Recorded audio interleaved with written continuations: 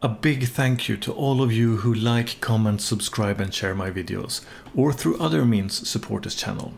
You are what makes this channel grow and become a resource for other people to learn from. Enough about how awesome you are, back to the video. Welcome back. So it is the first Tuesday of the month, which as always means that we get a new rotation of free assets available on the Epic Marketplace. This month we are getting the Archviz Interior Volume 3, the Palace Hall, a basic multiplayer melee combat system, a safe house and a quest editor plugin. As always, to find these you only have to go under the free section and click on the free for the month and you'll be able to see these. So let's check them out in a little bit of more of a detail.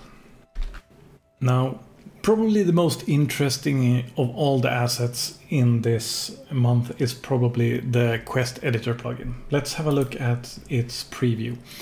So here we get to see demonstrated some of the features that is available in this. So uh, you have a system that's created in uh, C++ files and blueprint files. Uh, it is available as a plugin and you have the ability to make use of these dialogue and quest trees uh, to easily set up different relationships and different paths for your uh, quest, which is very useful and something that's often needed for many different games, not only role playing games.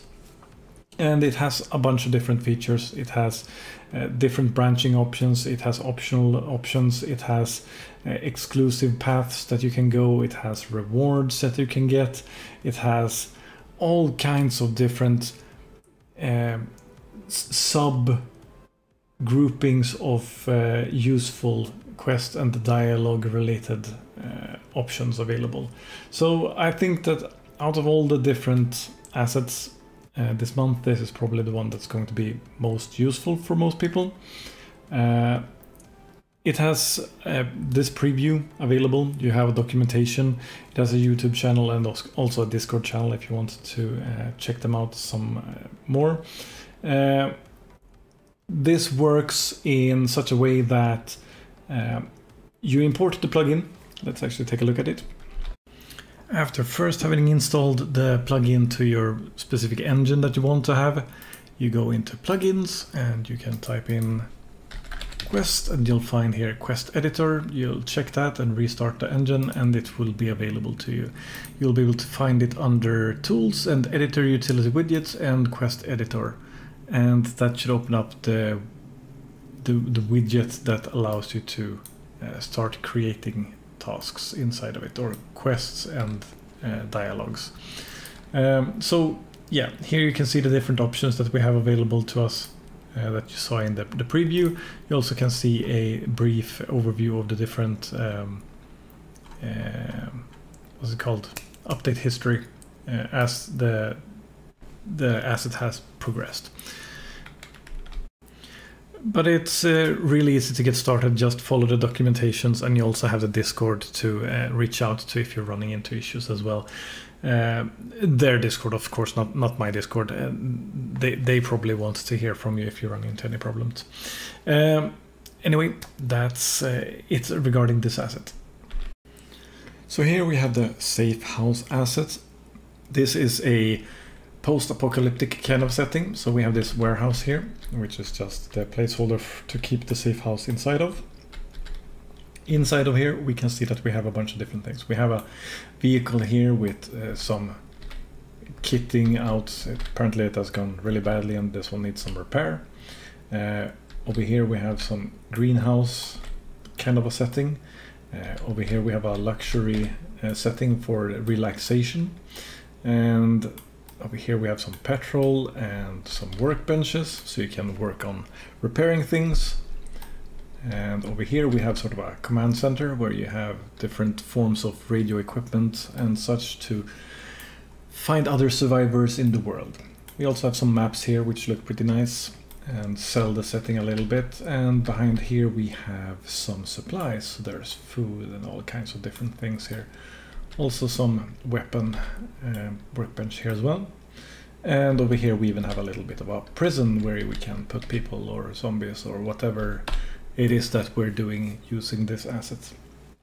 So it's a pretty straightforward asset. Uh, it looks pretty nice, it's pretty cohesive, the detail level is good.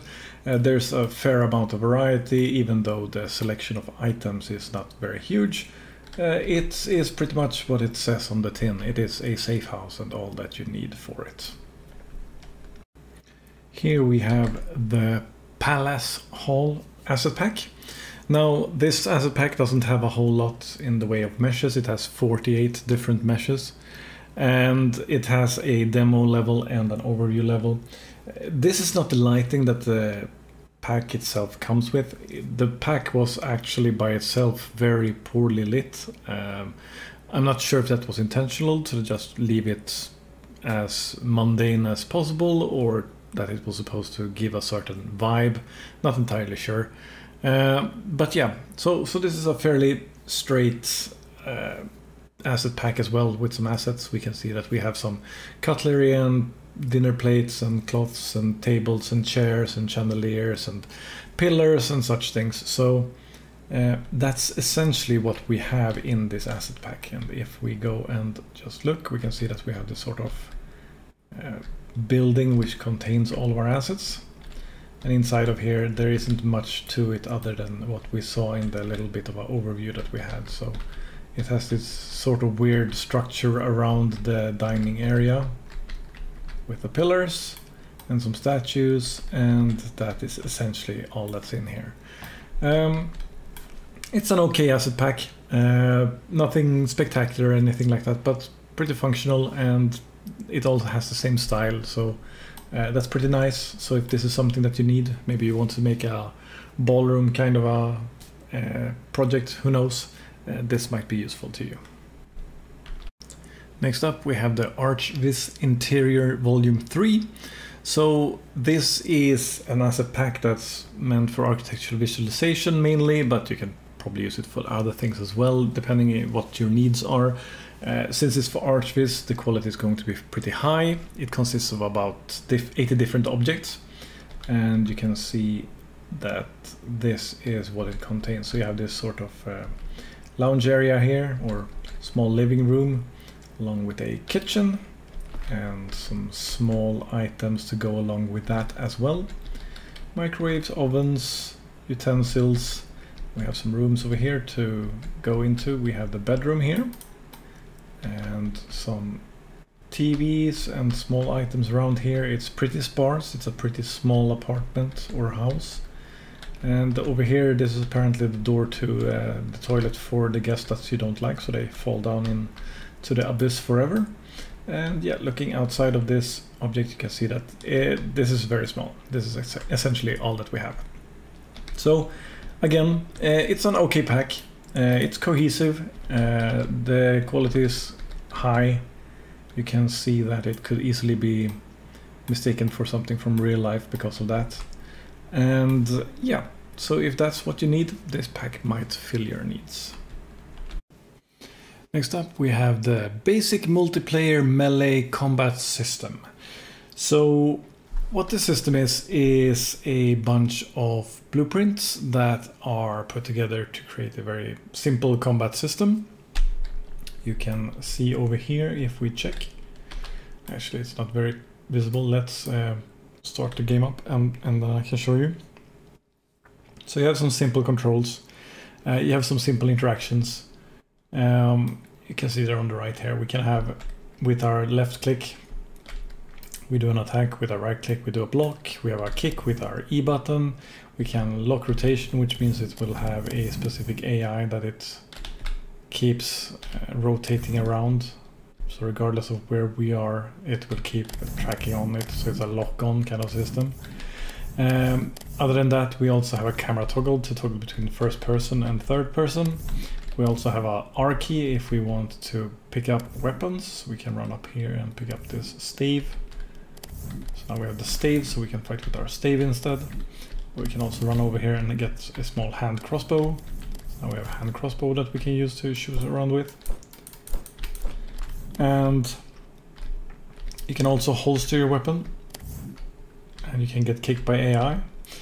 And you can also uh, dodge with the C key and you can also reload with the T key if you have a crossbow. So those are the controls. Also you have a shield bash, so if we run up and pick up our swords quickly, there we go. Okay, and now we are getting some frame drops and we're respawning. So, so there are some basic controls here available. Uh, let's see if we can actually get some some kind of combat in here and I can show you approximately what it's all about. Uh, it, it is simple, just like it is described. Um, you have some basic attacks um, and some spongy opponents. You can spam your key and it will handle the animations fairly well.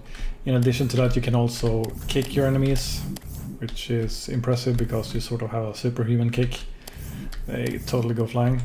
And if you manage, you can also uh, kick your opponents into the center area here with uh, the spikes and if they get hit so that they land on the spikes. They essentially go into ragdoll mode and stand still. There we go. So they go into ragdoll mode and just hang around there for a bit. So that's uh, essentially all that you can do inside of this.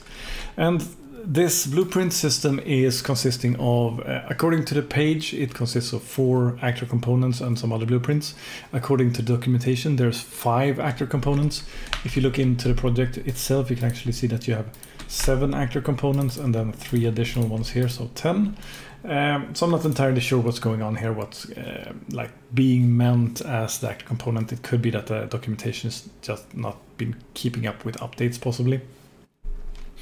Uh, but yeah, what this project is is probably a okay learning project um, because it makes use of a bunch of different uh, framework blueprints. Like for example, you have your uh, game modes, you have your game states, and you can go into your game states and you can see what what what's going on in in the game state and how it's communicating with different other uh, blueprints and you can do the same for your game modes and such and you have your controllers and your characters. And you can see how they're all structured. Um, that's something that isn't very common that um, it's covered how how these um, framework classes can be used. Um, so, so that's something that you can make use of this. So some of these things are interesting to learn from, I think. Uh, some are a bit hit and miss. It's a little bit depending on what kind of thing you're looking at. Uh, but overall, you do have a bunch of different things here you can at least like explore and build upon. Uh, the asset itself claims to be a prototype kind of an asset, so you can use it for prototyping a melee combat system or have it as a foundation to build upon further. Um, you can see here on a character that consists of a bunch of different blueprints, uh, blueprint components that have uh, a bunch of different um, areas of responsibility. So you have some things that handle your animations to make sure that they're synced so you can have combo finishers and such things. Ragdolling, multiplayer, the lock-on system, attacks for the montage and stuff like that, and also combos and such, uh, combat and such. So there's a bunch of different things to uh, look into here. Um, it it is a a system that's cool in some ways and a little bit weak in other ways. Uh, but overall, I think it might be a, a, okay learning experience for those that want to sort of dig into it and, and find out how it works. So that is going to be all regarding the assets of this month. I hope that this video was useful and that it gave you some insight into what you are getting and maybe get you curious about what things you want to explore further. Anyway, that's going to be all for now. Keep on learning. Take care. Hopefully you found this video helpful. If you liked the video, leave a like. If you did not like it, leave a dislike. Leave any suggestions or comments you have down below. Subscribe and share this video if you want to see more like it in the future. That is all for now. Keep on learning. Take care.